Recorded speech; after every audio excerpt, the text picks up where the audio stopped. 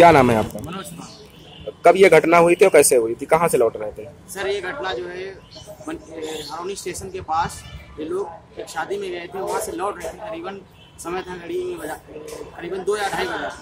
उसी समय इनकी घटना हुई। ट्रक ट्रक ने जो है इनके टक्कर मारी बाइक में। तो ये चारों लोग दो लोग बाइक से थे।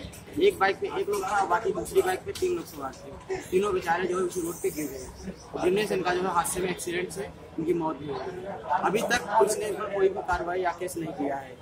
हम लोग बहुत ही गरीब परिवार से बिलोंग में जुड़े हुए हैं। हमारी सरकार से रिक्वेस्ट है कि हमारी कोई कोई भी मदद की जाए, जिससे हमारे घर का जो है कोई गुजारा हो सके।